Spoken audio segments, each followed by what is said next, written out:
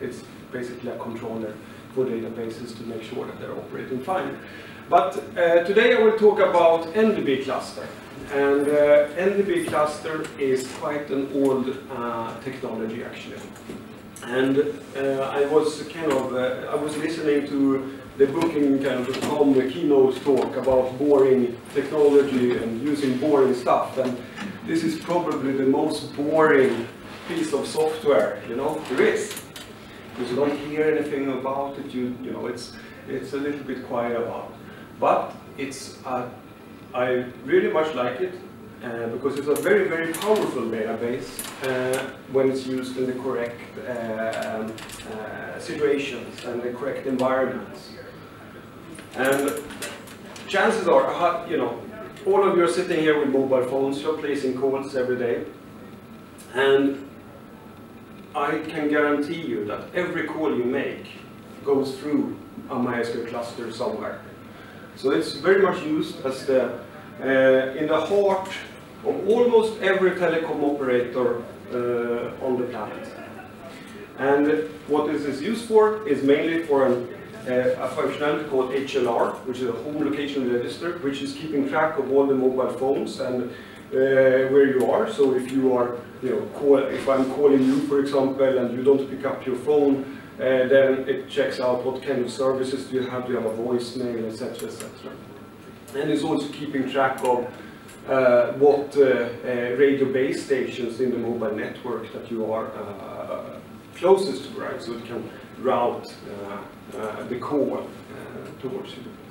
And in those uh, environments, as you understand, it must be up and running all the time and it must be very fault tolerant and never break, because if it breaks, uh, a number of million of uh, subscribers are affected, right? Uh, so, so, so MySQL cluster is used for, uh, uh, for storing this subscriber information on many tenants. And then, you know, managing from, you know, in a small operator you know, X hundred of thousand subscribers until up to the very giant uh, operators with 30, 50, 100 million uh, subscribers.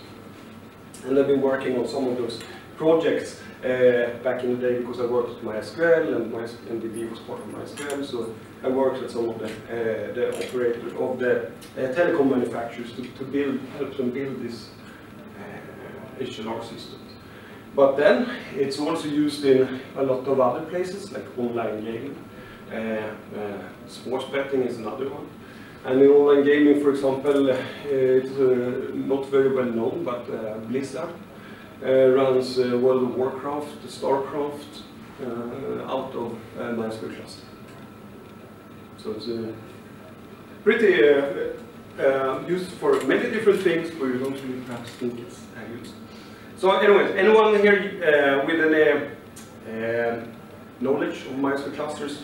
I, I, don't recognize you from before. No, um, we have a customer uh, that asked us to, to build a, a financial business-to-business uh, paying platform, and they actually have the NDB in their repairment, no. and I'm not sure if they're they have that in the preparedness because they know what the thing is doing, mm. or just entered MySQL cluster in Google and found the first one and say, we need this. Uh, that's I'm not sure about. Okay. I'm not, so I'm not sure about if, if this technique would be okay yeah. to use in, in yeah. a financial yeah. situation or not, yeah. or is advisable to use instead of Cordero.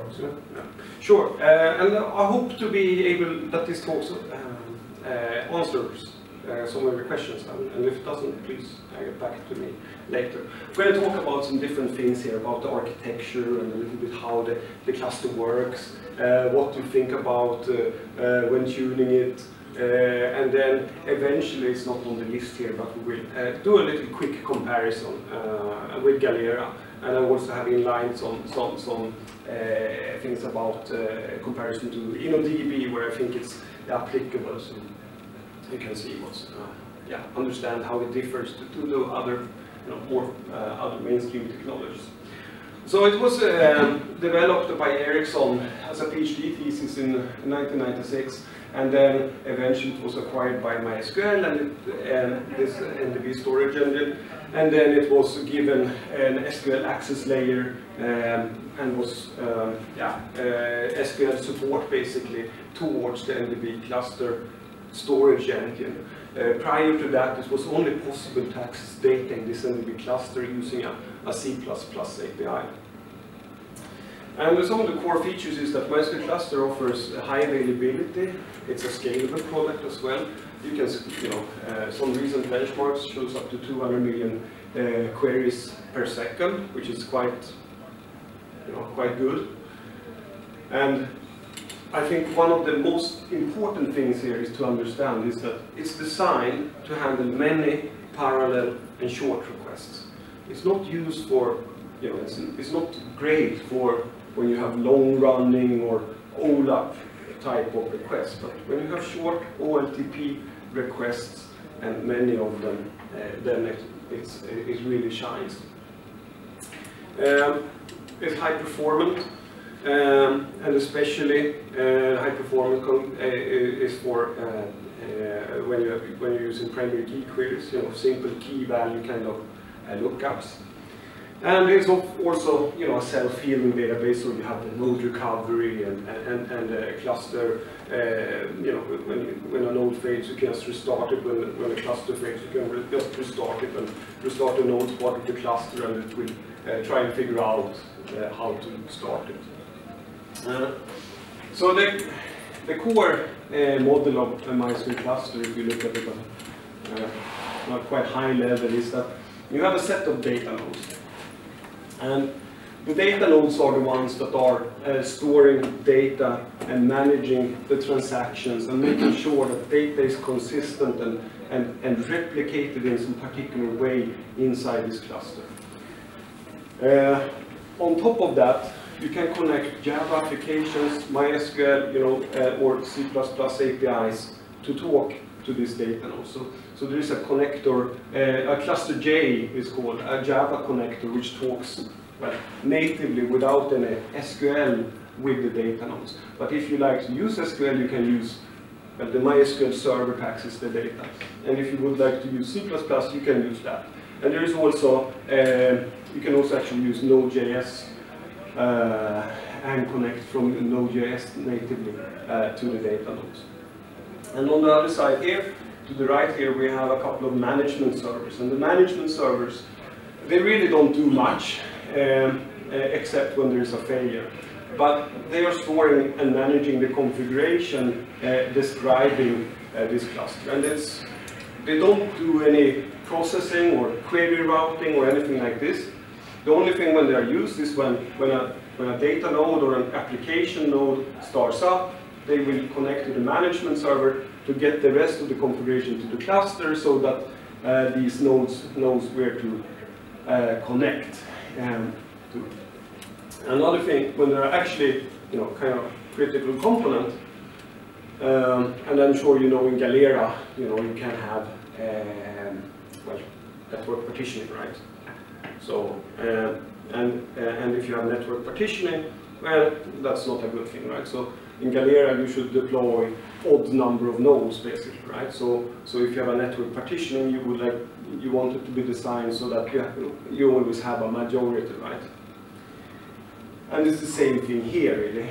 Uh, the data nodes are operating in pairs. So here we will have always an even number of nodes. Uh, but to give the odd, um, odd one, so to say, we have the management server, which is like the guard, guard the arbitrator in Galera. So if, if there is a split in the network, the data nodes will ask the management server if they are uh, okay to continue in this cluster, or if you know, or should they, yeah, or should they become like in Galera? Should they stay synced, or should they go uh, offline?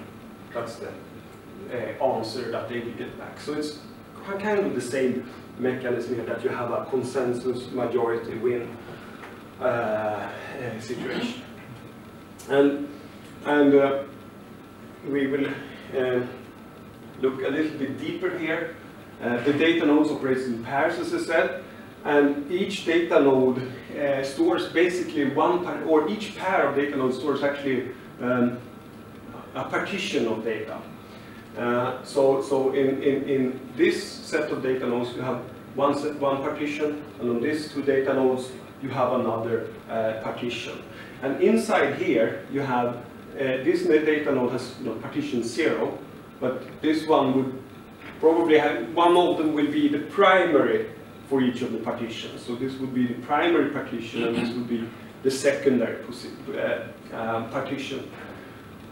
Is that important to know? Well, not really, uh, but uh, it's, you know, the, when, when you do uh, a query, the queries are always routed to the node having the primary partition of the data, because that's where the, the locking protocols uh, originates from, so that you are always sure that you are you know, starting the locking protocol from the primary node, so it's not in a random way, because if you do it in a random way, you would get uh, deadlocks, right? So it's easier to control the locking protocol if it starts from um, the, the, primary uh, partition. And then there is a, uh, what is important here is that when you do an insert here, uh, there is a two-phase uh, commit protocol that's being used. And the, the, the, the, the sequence goes as that the insert comes in from the MySQL server, it's translated into, well, uh, C++ protocol that the data nodes understand. It comes in to what is a transaction coordinator on the uh, data node. The transaction coordinator then is then preparing this insert or update on, uh, uh, on the data nodes. And if the prepare was okay, it comes back to the transaction coordinator. Okay, I prepared it okay. Then the transaction coordinator will send out commit messages uh, to these data nodes. And when it has done that, uh, the, the, it would be an acknowledgement back to the, uh, to the application. Um, so um, the, the, the, concurrency control here is, is um, based on pessimistic locking opposed, as opposed to Galera where you have an optimistic locking, right? Uh, where I would say that in, the, in this case, um, uh, you're less prone to deadlocks in, in high concurrency uh, uh, situations because of that. Because the fact is that you start the writes in one node group on the primary, you know, instead of you can, in Galera, you can start the writes on all nodes at the same time. Uh, it's an optimistic locking, so the write set, you do the commit, and then the write sets will go out. You know, it might be okay, it might not be okay. So there are some small differences like that. Uh, and um, then when you have loaded up here your cluster, well, then you know this has one partition and this has another partition of data. And, and, and, and each partition will basically, in this case we have two partitions, so uh, there will be 50% uh, uh, data here and 50% data here. And uh, whether you should insert the data in this partition or in that partition, that's something that you don't have to uh, mess with. It's taken care of about the APIs. By default, when you insert something, the application will calculate the hash of the primary key. It will do some uh, modulo operations on it, and then figure out if the data should go in this silo or in this silo here. Uh, based on an hash. What happens if you add a pair of nodes? Will that redistribute? Yes, so yes, you can then do this. You can then grow this cluster. Um, so it's very easy to grow here on the application side. You can just add more application servers to scale out. On this side here, you can also add uh, nodes here. Um, and, and, and it's not as easy as in Galera, where you just tell, start up a node connected to the uh, well, to a donor basically, and it starts to do an rsync uh, or an, uh, extra backup SSD uh, to sync up this node.